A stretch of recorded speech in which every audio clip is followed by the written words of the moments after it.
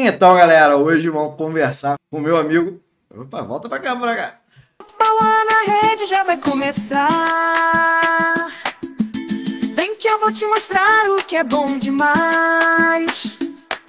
Direto de campos dos goitacazes faz saco de geral. No ritmo que agita o seu astral. Yeah. Bora postar que aqui é o seu lugar. Então, galera, estamos hoje aqui conversando com meu amigo Matheus Barroso, psicólogo, e falar justamente dessa fase da escolha de profissões. Né, é isso aí. Obrigado pelo convite, pela abertura aí, pela porta aberta. É um prazer. Vamos conversar aí e acrescentar no que for possível. Isso, querido. Então, a gente tem essa coisa, né? o adolescente, hoje com 17 anos, está naquela fase ali, terminando o ensino médio e tendo o desafio de o que, que eu vou ser para o resto da vida. Às vezes acho que a família traz um pouco também dessa carga de ser para o resto da vida. Então, a gente sabe que as escolhas, em cada momento da, da vida, óbvio que ela pode também, mesmo ainda cursando uma faculdade ou estando em outro mercado de trabalho, ela pode migrar de acordo com Sim. a sua caminhada, né? Como que é isso dentro da psicologia? Como que é? É uma fase, né, onde tem a cobrança dos pais, a própria o indivíduo, né? Ele quer ir, tá, tá começando uma nova fase da vida, termo ensino médio, às vezes é uma prova do Enem, né, a, a, vida acadêmica, então é, um, é uma grande decisão que precisa ser tomada, né, e a psicologia tem um viés do, do orientação vocacional, que serve para estimular, para orientar, né, como já diz a palavra, o, o próprio sujeito ali, para que ele não fique perdido, levando em consideração que tudo é aprendizado, né? Às vezes eu não acerto na primeira escolha, mas com o tempo eu vou aprendendo, eu vou, vou sigo esse caminho, sigo outro, né? E aí tudo é aprendizado. E a gente, por exemplo, né, tem a questão da disciplina, que aí já vem de uma outra caminhada nossa que a gente, a gente se conheceu no tatame lá com Lúcio Flávio. Lúcio Flávio. Aproveitar e mandar a saudação aqui, é. nosso amigo nosso meio, é, Sansei também. É, mas... E lá a gente aprendeu com ele a questão da disciplina né, dentro do tatame e que também acaba a gente trazendo para a vida profissional, né, no dia a dia. É o esporte hoje, é, você, óbvio, né, como atleta, identifica isso na, dentro dessa construção também? Cara, a disciplina é de suma importância, né? Porque o que a gente vê na sociedade hoje? Pessoas que querem tudo para ontem, né? Fast food, e acabou se deixando um pouco para trás a questão da disciplina, né? É, dificuldade de receber um não, dificuldade de frustração.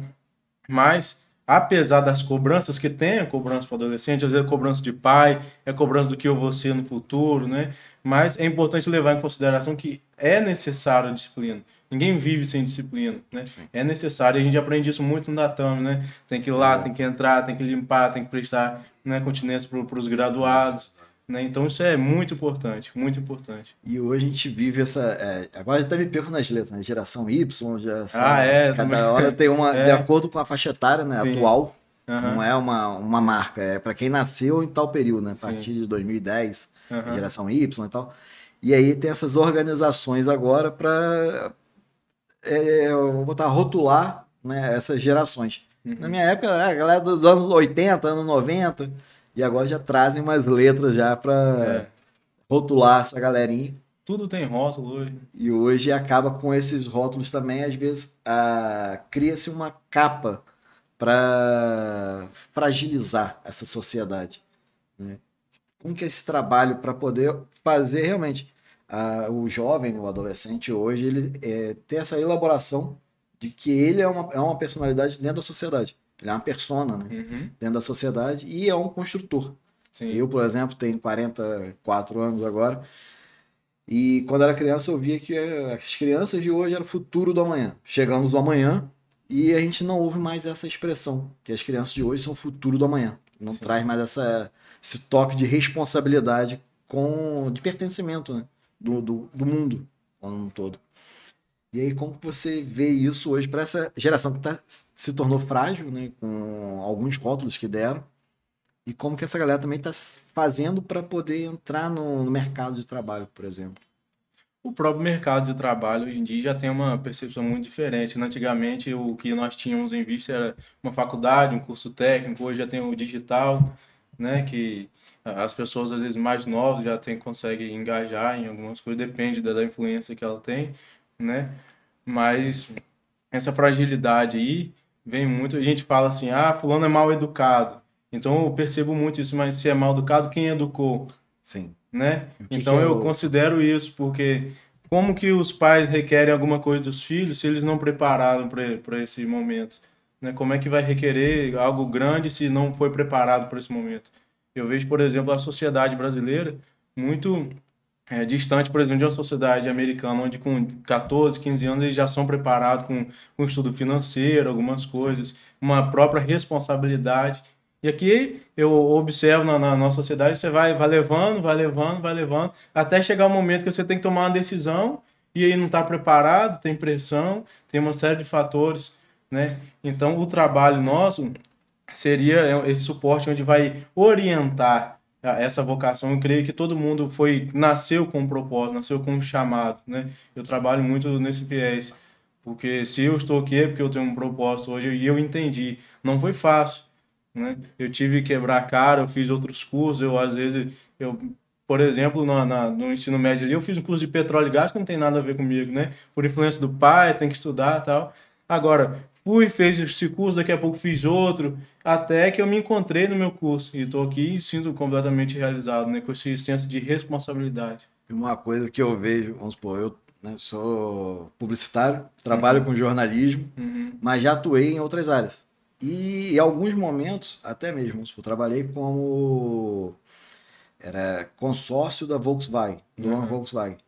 Aí eu fico, ah, mas o que, que isso tem a ver com jornalismo ou publicidade? Mas quando eu, tive uma agência mais forte, aquela, aquele rito administrativo foram todos utilizados, principalmente a parte de cobrança, uhum. cobrar o cliente, né? Uhum. Porque a gente tem, quando você tem uma agência, você acaba tendo que ter todos os, o, os setores ali bem Sim. definidos. E aí você fazer esse atendimento, que é uma parte da, do vendedor de consórcio, de cobrar também, de fazer a primeira, aquele, aquele uhum. primeiro contato né, profissional. E às vezes isso a faculdade não vai ensinar. Nenhuma faculdade vai te ensinar, tipo, ah, como que eu vou cobrar o meu cliente? Sim. É o mercado que. E aí cada coisa, cada setor né, que a gente foi trabalhando durante a, ao longo da vida, comecei com 16 anos, teve bastante coisa até aqui.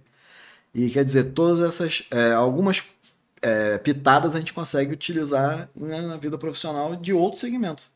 E é. é. aquele famoso, né? Conhecimento ninguém vai roubar da gente, né? É. E aí, dentro do, desse contexto, assim, como que é chegar, vamos supor, para uma pessoa hoje que tenha mais 30, 40 anos e ela, ah, não me encontrei na minha profissão e eu preciso buscar. Existe uma forma de exercitar ela, de com certeza. Uma das primeiras coisas que eu trabalho com, com a pessoa que ela chega na clínica é a virtude da esperança. O que vai ser uma pessoa futuro sem esperança? Às vezes a pessoa está quebrada, seja financeiramente, psicologicamente. Se ela não enxergar uma possibilidade de futuro, como que eu vou trabalhar com ela? Né? Então, é, a sociedade de hoje a gente vê muita, muita reclamação, muita murmuração, né? Ah, por que, que eu fiz isso? Perdi tempo aqui, perdi tempo ali. Só que você olha seu exemplo, por exemplo né? E aí você pega a comunicação, a organização, Sim. tudo é aprendizado. As pessoas que crescem, normalmente ela pega tudo como aprendizado. Ah, sofreu? Sofreu, mas aprendi com uma coisa. Aprendi, no mínimo, a não fazer aquilo mais. Fazer repetir. Né? né? Não repetir. Então a gente trabalha assim, tem, óbvio que tem. A, a primeira coisa é ter esperança, né? Esperança, você, claro que tem as limitações, né? Tem a gente trabalha, por exemplo, tem o ideal e o real. Né? Tem coisas que eu não vou conseguir. Eu vejo, tem está dentro da minha capacidade. A gente tem que as nossas metas devem ser alcançáveis, deve ser uma coisa que está dentro da realidade, né? Mas a gente trabalha muito com sonho. É uma pessoa que não sonha, né? Já está praticamente fadada ao fracasso. E hoje uma das é, das realizações né, dos pais é ver esse reflexo nos filhos, deles estarem escolhendo uma profissão, alguns, vamos supor, tem é, aquele caminho, né? O pai é advogado e quer que o filho seja advogado, ou é médico e quer também, e nem sempre ou se preocupa em trazer esse sentimento para também ser da, do jovem, né? Porque às vezes não leva para conhecer a rotina administrativa do, do, consultório ou do escritório, o que for. Mas não, quero que ele seja advogado, ou quero que ele seja médico. só que não trabalhou isso internamente. E aí depois vem para cima, né? Depois, não, o que eu preciso e tal, e quero que ele seja médico e quero pagar, custear, né? O, o ensino que já não é tão barato também. Mas a, a, o jovem não tem aquela aptidão, não tem aquele desejo também porque não foi é, alimentado durante aquela, aquela infância, uhum. toda essa construção. Nesse caso daí, a gente precisa trabalhar mais com os pais ou realmente elaborar com o, o jovem? Com o jovem, com o jovem, a menos que o pai queira, os pais queiram trabalhar. Né? Porque existe a, a, projeção, né? Um exemplo, meu pai foi advogado, ele quer, como você, como você disse, que eu seja advogado. Mas às vezes eu não fui chamado, porque eu não tenho uma vocação, não levo jeito para aquilo. E aí eu querer realizar o sonho do meu pai, eu posso perder tempo, eu posso perder muita coisa, né? Eu posso perder um futuro. E por incrível que pareça, muita gente tem feito isso. Ah, o pai que é médico já vai lá, né, coloca né, o peixe, né, já vai e coloca lá no ambiente. Às vezes quer ver uma coisa também no, no ambiente religioso, o pai que é pastor, né, quer que o filho seja pastor também, Sim. né? Então não necessariamente que tem que ser assim. O, o indivíduo é muito subjetivo.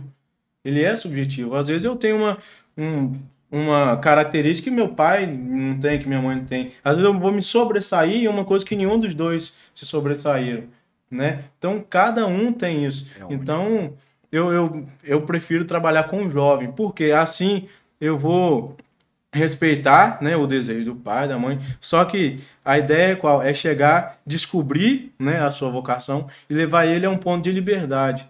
Aí, cara, seu pai quer que você seja médico, mas você quer ser médico? Ah, você não quer não? O que, que você quer ser?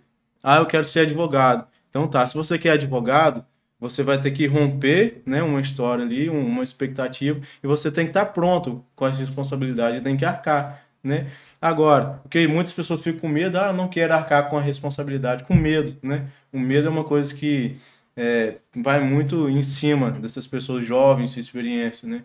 Mas eu trabalho com o indivíduo ali. O pai, pode ser feito um trabalho com o pai ou com a mãe de mostrar, olha só, por que, que você, por que, que ele tem que ser isso que você escolheu, né? Sim. O... E em muitos casos os pais não querem aceitar, né? Porque eles criaram, elaboraram aquela coisa do, ah, meu filho quando crescer vai ser médico para poder continuar o meu consultório, por exemplo. Vai herdar, né, aquela, é. aqueles pacientes e tudo mais. Sendo que realmente não foi a, a elaboração que ele proporcionou para o filho. Né? Uhum. E essa, essa expressão elaborar ela é bem, bem forte, né? bem presente também no vocabulário da, da psicologia. Né? É, tem, tem, né? bem na, na em psicanalítica, né? o elaborar. E a pessoa precisa elaborar, né? precisa elaborar aquilo que está no, no inconsciente dela, como é da, da psicanálise, né?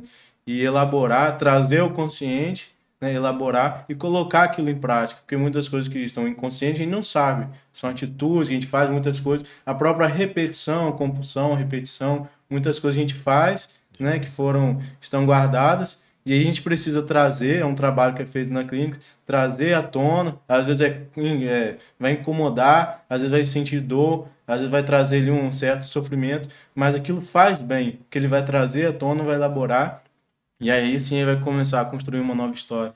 E aproveitando também esse viés do jovem, né, da construção do, do homem na sociedade, homem-mulher, né? Sim.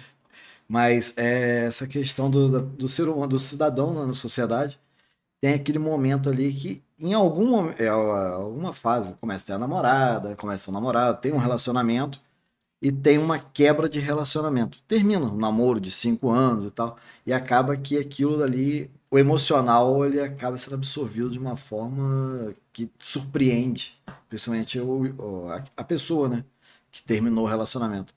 Como que é esse trabalho também com essa, esse outro lado? Né? Porque às vezes a pessoa larga a profissão, larga é, a, a, até a cidade, por causa do, do término de um relacionamento. Como que vocês buscam assim, ajudar realmente essa, nessa, nessa fase? toda quebra de vínculo profundo é muito difícil, né?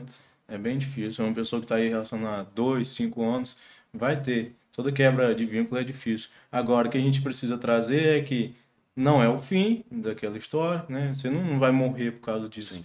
Você vai sofrer, mas você vai, você pode é, se levantar e você pode caminhar. Então, o, o profissional ele vai servir como um suporte, porque sozinho tudo mais sozinho é mais difícil, né? Sim. Então o profissional serve como um suporte para mostrar a ele, cara, Você não está sozinho, você vai sobreviver, você vai conseguir e você vai retomar a sua vida. Né? Seja para voltar para um relacionamento ou para outro, a sua vida nesse momento, o seu futuro é que está em jogo. Né? Então você não pode entregar, chutar o pau da barraca, como é dito, né? por causa disso. É difícil, mas por isso que a gente está ali próximo né? para dar suporte. Isso que eu acho bacana. Uma vez eu aprendi com um colega também da área de psicologia, falando da teoria da Praça é Nossa, né? que o Carlos Alberto de Nóbrega ele é o dono do banco. Uhum. E as pessoas que estão ali, que vão participar do programa, são essas pessoas que fazem parte da nossa vida. Elas não vão ficar o programa inteiro com você, mas sempre estão passando, trazendo algum conhecimento, Uhum. fazendo aquela interação, mas elas são de passagem. Mas o banco é seu. No caso, o banco, no caso é Sim. do caso do Alberto. E ele realmente é o protagonista daquela história inteira, né? Do, da, da praça. E é assim a gente tem que trazer para nossa vida. Sim. E é realmente isso que você falou, né? Que é, é o protagonista da história, né? É. E esse é o trabalho feito na clínica, chegar ao ponto, porque muitas pessoas chegam na, na, na clínica ou chegam para pedir ajuda. Quem está sendo protagonista é o pai, é a mãe, é um avô, é uma avó, é a namorada, o cara tá vivendo em função dela. Uma coisa é a ideia do, do servir ao outro, né? Você tá em um relacionamento seja de amigos, você tá ali para servir. Outra coisa é você esquecer da sua vida, né? Para viver a vida do outro. Isso não. E o trabalho principal é tornar a pessoa protagonista da sua história, que não seja outro, que não seja meu pai, que não seja minha mãe, mas que eu assuma a minha responsabilidade e seja o protagonista né, da história. E, quando a pessoa realmente ela se encontra nessa. Como que é o sentimento? assim, Cara. tanto seu, né? Quanto profissional que a- a- fez o, o acompanhamento e como você sente o sentimento dessa pessoa. É, a, a respeito disso, eu tenho trabalhado um conceito de felicidade, que é o quê? Uma felicidade onde você cumpre os seus deveres, os seus compromissos se sente realizado. Você olha aqui, eu imagino que você se sente realizado aqui hoje. É fácil estar aqui? Tem até, até um correio. Tem dia que você não quer estar aqui, né? Tem dia que você não... a última coisa que você quer é, é trabalhar. Tem dia que você não tem força, que você não tem nada. Mas eu tenho certeza que quando você bate na cama no final do dia, que você vai descansar, você pode estar o mais cansado possível. Você vai falar assim: cumpri o meu dever. Cumpri o meu dever. Porque essa é a, a verdadeira felicidade. Porque momentos são passageiros, sentimentos são passageiros, né? Dinheiro é passageiro. Se a gente tem uma certeza na vida que pessoas vêm e vão, que vão morrer, meu pai, minha mãe vão morrer, né? A pessoa que eu me relaciono pode partir, pode morrer ou pode me deixar. Agora, o meu dever é eu fazer o que eu tenho que fazer. Esse é o maior sentimento de felicidade, de realização. E realmente, é, por mais realizado que a pessoa esteja profissionalmente, tem um dia ou outro que ela, né? tem uma segunda-feira de manhã que a pessoa não acorda tão satisfeita para levantar e pular da cama e opa, Sim. vou trabalhar. Não, Pois é, é aí que entra o senso de mas responsabilidade, né? o centro do, do compromisso. Sim, né? Não, o pô, compromisso. mas eu também tenho, Sim, tenho o outro lado que tá esperando o meu serviço ser pronto sim, e tem o que eu quero fazer, o que eu vou captar de financeiro. Claro, pô, tem, tem um financeiro, tem o meu futuro, tem a minha família, tem quem tá esperando, seja filho, seja. Ah, o cara não tem filho, mas tem uma namorada que ele quer casar. Pô, tem um futuro esperando. Então eu não posso abrir mão ficar naquela coisa lá, ah, só quero prazer, só quero o que é confortável. Se eu ficar fazer o que é confortável, eu não vou levantar todo dia cedo, né, para trabalhar. Eu não vou fazer porque a vida tem esse essa coisa de labor, né, do trabalho, né? Lá atrás, quando pecaram, isso foi entregue para nós. Olha, vocês se- seguiram outro lado, agora vocês vão precisar trabalhar, né, para ter o fruto. Então não dá para fugir disso. Agora, quando eu trabalho, quando eu me encontro naquilo que eu gosto de fazer, trabalho e chego no momento, no fim do dia, mesmo que eu esteja ali assim esgotado, mesmo que às vezes eu queira assim, cara, não aguento mais, mas esse sentimento de dever cumprido, é aquilo ali, isso é, serve como um combustível para a pessoa. E dentro dessa, dessa relação, a sociedade como um todo, ela contribui sempre né, para esse crescimento do, da pessoa. Né? Porque você vê, o, como a gente falou, questão é, religiosa, por exemplo, ah, o, o do filho do pastor, que também tem que ter uma personalidade dentro Sim. daquele, daquele, daquela sociedade. Sim. Só que ele também, dentro daquela sociedade, também ele pode ser o que a gente chama da, da cadeira.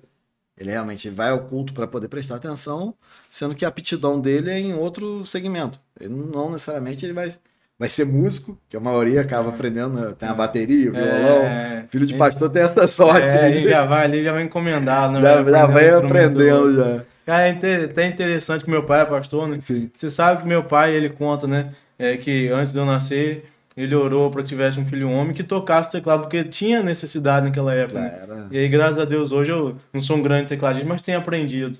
Né? Então a gente já vai, já nasce encomendado. Violão, eu sei que manda. né? É, tem que a tá- gente tá faz um barulho, né?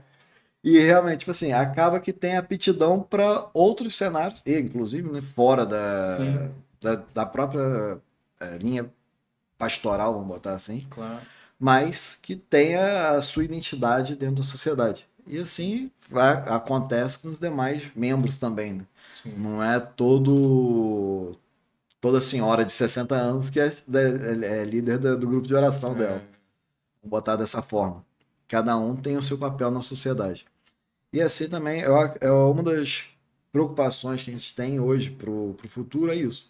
Com relação ao adolescente que chega e ele acha que, não, eu tenho que fazer, está no primeiro ano ainda do ensino médio, não, eu quero, vou fazer medicina, mas já está pensando já da especialização, sem curtir e saborear Sim. cada fase daquela, daquele crescimento dele. Sim.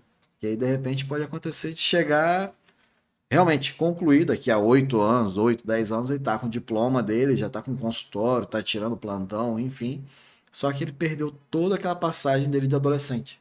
Como que é curtir também, é, conduzir esse jovem que ele realmente tem que aproveitar e curtir aquele momento dele ali de, de adolescente, que não vai voltar. Sim. Às vezes eu tento voltar um pouquinho, mas não consigo, o cabelo não deixa. É? Mas, realmente, são coisas que a gente vive e são daquele momento. Você, Sim. 25 anos você vai ter uma vez só, 20 anos, 17, 16, que é o- a fase ali de primeiro ano. E, óbvio, depois dos 40, cada momento vai ter que saborear aquela, aquela fase. Como que é levar essa, essa condução à maturidade, né? Eu acredito que seja alguma coisa nesse sentido, assim. Sim, é. A, a maturidade é o que é construído, né? Eu acredito que uma pessoa de 15 anos, ela pode ser madura naquele momento ali, como a de 20, como a de... Cada período requer um, um nível de maturidade, né? E aí eu acho que falta hoje muito questão do equilíbrio. O que, que a gente vê hoje? Ou esses adolescentes ou esses jovens são criados de uma forma liberal demais ou com, com um peso muito grande, né? E, cara, cada pessoa tem uma fase. Qual é a, a maturidade de um adolescente desse? Qual é? Às vezes ele curtir com um colega e, sei lá, fazer alguma coisa, jogar uma bola e estudar. Qual é o compromisso de uma pessoa dessa idade? É estudar. Uns, como você precisam, né? Nessa a vida impõe que ele tem que trabalhar mais cedo, precisa, né? Mas, de uma maneira, a pessoa que tem uma condição, um suporte dos pais, qual é a missão daquele momento? Ele tem que estudar, né? Ele precisa arcar com suas responsabilidades. Qual é a responsabilidade? É tirar uma nota legal, é obedecer, é se sujeitar, né? Àquele ambiente que ele está e ir construindo. Eu não posso é, planejar, planejar e trabalhar só no futuro, esquecendo o que eu estou passando hoje, né? É aquilo ali. As metas devem ser alcançadas. Preciso ter meta, mas eu preciso entender também que eu estou no hoje. Né? Eu tô no momento que hoje eu tenho 15 anos. Não adianta eu agir como se eu tivesse 30 anos, porque não vai dar certo. Né? Depois, quando chegar lá nos 30, eu vou sentir falta do que eu deixei para trás. Isso é- interfere também nos outros relacionamentos. né? Sim, Porque uma vez que ele pulou a etapa, ele não vai saber como, de repente, é. na ou num- numa fase do relacionamento dele a dois, ou até mesmo com os próprios filhos né, Sim. no futuro. A, a vida é escola, né? é uma escola, né? E assim como tem cada série, cada período é, é, ali maternal, tem o fundamental, médio, a gente não pode pular nenhuma etapa, né? As pessoas que pulam etapas, alguns realmente precisam, e a gente entende isso, né? Meu pai começou a trabalhar com 12 anos, né, no lavoura. Né? Tem pessoas que precisam agora. Quem tem oportunidade, e aí é interessante, apesar dele começar a trabalhar, ele não deixou de jogar bola, ele não deixou de estar com os colegas, ele não deixou de né, aproveitar aquilo ali. E hoje a gente já vê o que? É muito estímulo. É muito estímulo. O, cérebro fica o tempo todo girando. Uma criança de, de, de, de 12, 15 anos, ele já tá aqui, já tá pensando em, em namorar e ir pra noite, não sei o que, fazer um monte de coisa e não tá curtindo aquilo que ele deveria fazer. Tem aquela coisa, né, do, do menino com 12 anos que quer ter o bigode pra ficar, pra parecer mais velho. É, pois E é. aí depois, quando tá mais velho, tá com a barba já montada, tem que fazer a barba pra poder ir pro trabalho, não sei o quê. E quer dizer, quer, tá vivendo uma, uma, uma fase, que é ainda nascendo, a barba e tal, é uma, forma mais lúdica de, de contar. Mas tá começando a ter o bigode dele, ao invés de curtir os primeiros fios, não, quero logo ter a barba grande. Quando tem a barba, não tem que tirar, porque não, É. por causa de trabalho, ou quer outra, outra realidade, né? Às vezes o ser humano tem essa coisa da satisfação com o que ele tem no momento. Isso é uma coisa que é fácil de ser identificada ou trabalhar né, com, com a pessoa em todas as. É, independente da idade. A gente vai trabalhar, vai, a gente vai observar ali o, o nível de, de maturidade que aquela pessoa tem, né? o senso de realidade que ela tem. Às vezes ele é uma pessoa que está com, com 30 anos, 40 anos, mas que tem uma mentalidade infantil, né? Ou às vezes é uma pessoa de 15 anos, mas que está muito à frente, é um ponto assim, é muita carga sobre ela. E a gente isso é tudo analisado, tudo analisado na clínica, né, com essa pessoa, para poder, olha, cara, você, você que vamos retroceder um pouquinho, ou senão, olha, você precisa avançar um pouquinho, você não tá nessa fase mais. Já né? pulou essa, essa É, etapa. É, já pulou, cara. Você, às vezes, você, o que aconteceu lá atrás que você não viveu isso?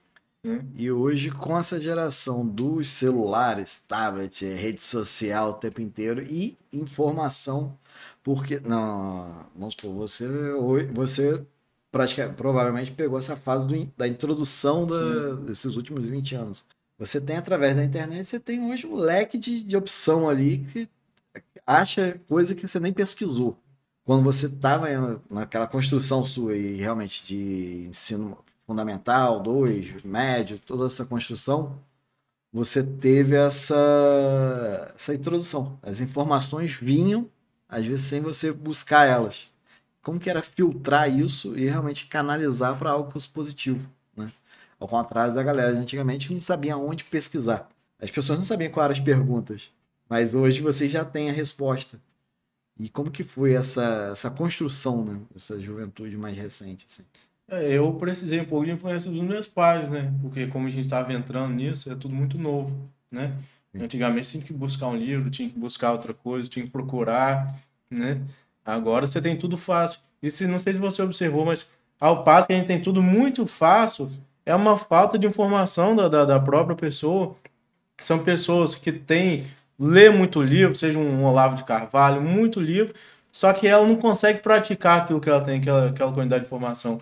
É, tem muita informação, você abre no Instagram, quantos vídeos tem que falta de pra, é, combatendo a procrastinação. Sim. Só que o cara tá procrastinando alguma coisa enquanto tá vendo aquele vídeo, né? A maturidade, o cara tá, tá nesse processo. Então, ao passo que tem muita informação, mas também falta, né? Esse, é, esse segurar, se viver o momento, né?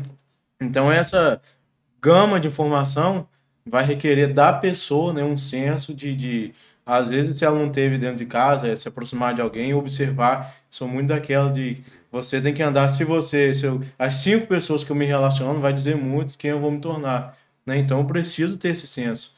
Eu preciso ter essa observação. Se eu quero ser alguém, se eu quero ser, sei lá, um vendedor grande, eu preciso me aproximar daquelas pessoas que estão ali bem naquele ramo. Se eu quero ser um bom psicólogo, eu preciso ser, me aproximar daquelas pessoas, porque senão a informação, informação por informação, o que, é que vai fazer na minha vida, né? O que transforma não é só conhecimento, mas praticar o conhecimento, por mínimo que seja. E agora, conduzindo aqui, falar em- dentro da parte de psicologia, que é de grande responsabilidade, é uma área que realmente tem bastante estudo, e é isso que me encanta bastante. Mas a gente tem aquele famoso coleguinha que é, fala, ah, não, é minha psicóloga, meu psicólogo, que eu vou me abrir pro meu colega.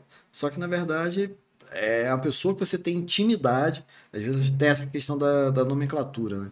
A gente chama de amizade, de psicólogo que a gente tem abertura. Que realmente é a pessoa que vai ter essa credibilidade toda pra gente abrir e contar a nossa vida. Sim. Sendo que é diferente do amigo que você vai chegar e se abrir. Até mesmo por isso vocês têm essa relação do. Quer dizer, não tem a relação íntima com a família Uhum. ou com o próprio paciente. Sim. E as pessoas confundem isso. A pessoa que ela é muito próxima, ela, não, fulano é meu psicólogo, eu vou lá e me abro. Só que não é bem isso. Não, O nem trabalho é pouco. bem maior. É bom você ter essa- esse ser humano do seu lado, essa pessoa, mas realmente o trabalho de vocês é muito mais completo. Como Sim. que é essa, É, já as pessoas hoje confundem, essa né? O- associação É, vocês? se, se, se fosse isso, a gente, o psicólogo andava com ele na mesa de bar, né, em outro lugar. Não é isso, né? O psicólogo é uma pessoa que estudou para isso, que tem buscou um conhecimento específico para orientar. Não é simplesmente um amigo que vai aconselhar. Né? Um amigo às vezes fala, ó, rapaz, você tá fazendo isso aqui, você tá errado e você tem que fazer isso. O psicólogo não. Ele já vai provocar na pessoa, com, com certa experiência, o profissionalismo dele, com aquilo que ele estudou, ele vai provocar na pessoa esse, esse ímpeto de decidir, né? Só que ele tá ali como um suporte. Você vai num amigo de bar, que que no, de, de mídia de base, às vezes o que acontece? Claro que tem amigos leais e tem aqueles também, ah, te aconselho, mas na hora do, do, do vamos ver ali, o cara né, sai fora. E aí a pessoa fica desamparada.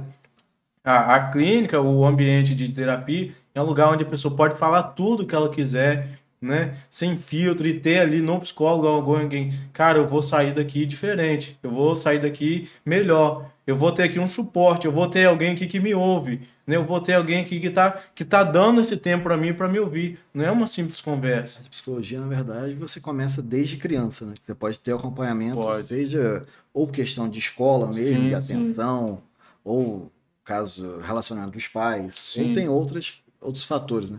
Sim. E que vai ser, ou vai te acompanhar, ou outros profissionais, né? Sim. Podem acompanhar durante a vida inteira dentro da, da área da psicologia, né? Uhum. Como que é essa responsabilidade? É, tem um Tá que é muito pedagógico, né? Na, na terapia tem isso, né? Eu não vou dizer especificamente para ele, nem sempre, né? Eu não sou da, da, da vertente que você tem que ser imparcial, né? Senão, se o cara tá se matando, vai, eu vou matar. Não tem como ser imparcial. Vamos ver qual vai ser o resultado É. disso. né? Não dá, não dá isso, não rola. Mas a, a responsabilidade é muito grande, porque a gente tem isso sobre nós, né? Aquela pessoa tá depositando, aquela pessoa chega ali viciada, tá, tá com um sofrimento muito profundo, e ela coloca em nós essa esperança de, de sair daqui, né? Melhor, de ter no mínimo um aprendizado, de ser curado de algum sintoma, de alguma coisa. Então é, é um trabalho que eu fico muito grato de, de poder trabalhar, é muito gratificante você chegar para uma pessoa ouvir, cara, eu tava quebrado, eu tava, né, no fundo do poço e você me ajudou. Esse E você me tirou do fundo do poço, né? Você teve conseguiu me, me levantar. ajudar nessa fase difícil. É muito, é muito gratificante. E realmente uma das mensagens que eu gostaria de deixar hoje com relação a isso, quando a pessoa tiver realmente a necessidade de conversar, de ter essa essa busca, né, essa construção, realmente procurar o profissional, que eu acho que é o mais importante, essa ajuda profissional. E a gente ouve muito aquelas fases, né? Tem, acho que é, tem alguns meses, tem um mês do ano, acho que é, o- é a- a- amarelo, né? tem Sim, setembro amarelo. Setembro é, Amarelo, que fala muito sobre conscientização, Sim. mas o ano inteiro. Você tendo essa necessidade, busque, converse com, dependendo da sua fase, né? Converse com seus pais, com sua família, vê a forma né, de buscar um profissional que realmente tenha essa responsabilidade social, principalmente, mas também ter essa responsabilidade profissional de estar ajudando nessa condução. E aí quero deixar agora contigo essa, essa realmente essa, essa palavra, né? Você diria para um jovem que tem essa timidez, né? De com quem que eu posso falar sobre isso? De quando a pessoa chega, né, para fazer um atendimento, primeiro perguntar, você sabe o que é terapia? Né? E aí eu explico. Aqui é um lugar que você tem segurança, que o que você fala vai ficar entre aqui. Eu não sou o pai daquela pessoa que vou fazer um julgamento dele como pai. Eu não sou a mãe daquela pessoa que vai fazer o julgamento como. Eu não sou o namorado, a namorada que vai. Não, eu sou uma pessoa de fora que tô ali. Meu trabalho, aquele tempo, aqueles 50 minutos, é completamente dedicado àquela pessoa. Então é um lugar onde ela é garantido o sigilo, é um lugar onde ela pode chorar, se expressar, tudo que ela não consegue fazer fora, ela consegue fazer ali. né? Tudo que ela não consegue fazer fora daquele ambiente, ela tem ali esse momento disponível, completamente disponível para ela. Então, o que eu posso fazer é, primeiramente, é me dispor, né? Pode contar comigo, eu falo, olha, terapia é isso, isso, isso. E eu quero que você espere um futuro melhor. E eu tô aqui para isso. Senão, você podia conversar com qualquer pessoa. Por que, que eu tô aqui? Porque você vai ter um suporte, você vai ter alguém que vai te ajudar, que, que tá trabalhando com isso, né? Então, é, o meu trabalho é esse, é ajudar, né, orientar dessa forma vocacional. Eu, minha linha de, de, de trabalho, eu trabalho muito com isso, é a, a descobrir um propósito de vida, né?